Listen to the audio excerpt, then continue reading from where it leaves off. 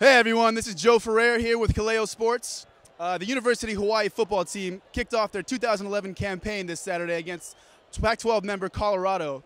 Uh, Bryant Moniz, senior quarterback for the Warriors, had a rough night passing through the air, but whenever things broke down, he tucked it away and ran for over 125 yards and three touchdowns.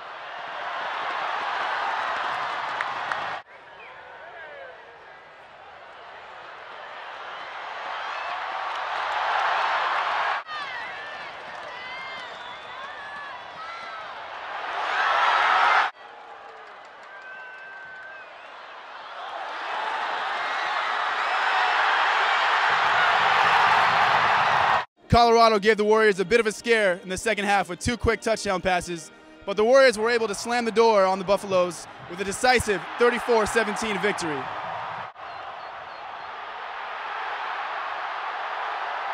Next week, the Warriors face off against their second straight Pac 12 opponent as they face off against the Washington Huskies.